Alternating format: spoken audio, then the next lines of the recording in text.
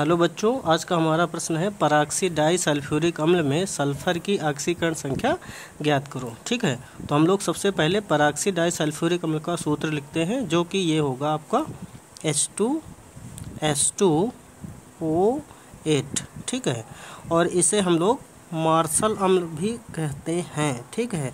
तो ये एक नाम ये भी हो जाएगा कि पराक्सी डाई सल्फ्यूरिक अम्ल को मार्शल अम्ल भी कहा जाता है। अब इसके बाद में यहाँ पर सामान्यतः अगर सल्फ़र की ऑक्सीकरण संख्या निकालेंगे तो वो आएगी प्लस सिक्स से ज़्यादा। क्योंकि सल्फ़र की ऑक्सीकरण संख्या सामान्य रूप से अगर देखा जाए तो प्लस चार होती है या प्लस सिक्स होती है।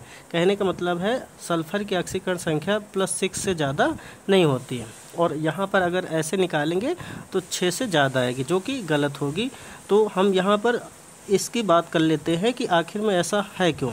तो ये जो पराक्सीड डाई सल्फ्यूरिक अम्ल है, इसकी संरचना बनती है तो आपको संरचना बनानी है सबसे पहले, जो कि इस प्रकार से बनेगी। H S O three single bond O single bond O single bond S O three H ठीक है?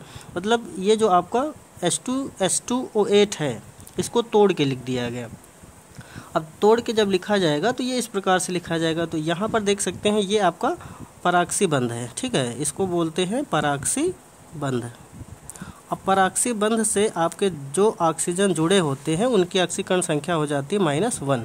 तो ये दो ऑक्सीजन जो है ना, इनकी ऑक्सीकरण संख्या हो जाएगी माइनस वन, और ये आपके जो छः ऑक्सीजन हैं, तीन ये वाले और तीन ये, इनकी ऑक्सीकरण संख्या हो जाएगी माइनस दो, और हाइड्रोजन की ऑक्सीकरण संख्या होती है प्लस वन।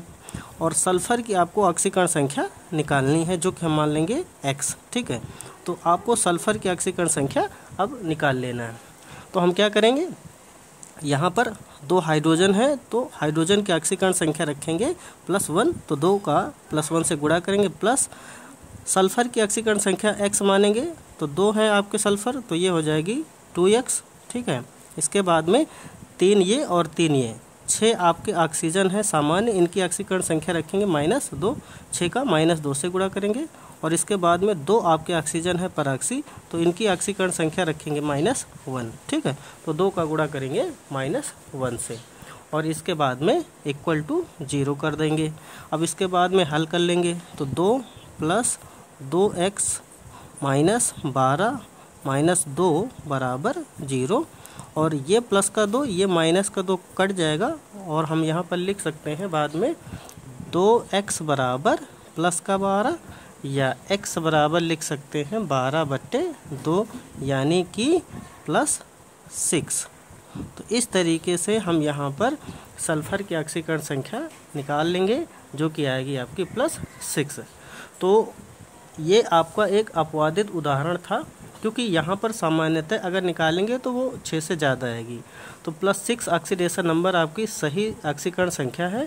तो आपको ये आप संरचना याद रखनी है, क्योंकि यहाँ पर इस संरचना से सब कुछ क्लियर हो जाएगा। और इस पूरी संरचना में दो आपके पराक्षी ऑक्सीजन है और छः सामान्य ऑक्सीजन है। तो छः जो आपके सामान्य ऑक्सीजन है, उनकी माइनस दो रखनी है ऑक्सीकरण संख्या और दो जो आपके पराक्षी ऑक्सीजन है, इनकी माइनस वन रखनी है। सल्फ़र की एक समान लेनी है हाइड्रोजन की प्लस वन रखनी है। इसके बाद में कैलकुलेशन कर लेना है। तो आपकी आसानी से ऑक्सीकरण संख्या आ जाएगी प्लस सिक्स जो कि आपका एक इंपॉर्टेंट क्वेश्चन बनेगा और अक्सर पूछे जाते रहते हैं। क्योंकि जो एक्सेप्शनल केस होते हैं ऑक्सीडेशन नंबर के, ज़्यादातर वही पूछे जाते हैं। क्योंकि उन्हीं क्वेश्चंस में कुछ दम होता है, ठीक है? तो ये एक अपवादित उदाहरण है। इसमें आप आसानी से समझ सकते हैं कि प्लस सिक्स ऑक्सीडेशन नंबर कैसे निकली? H two S two O eight में। तो H two S two O eight में सल्फ़र की ऑक्सीकरण संख्या आएगी प्लस सिक्स ठीक है? बच्चों वीडियो को लाइक करें चैनल को सब्सक्राइब करें। धन्यवाद।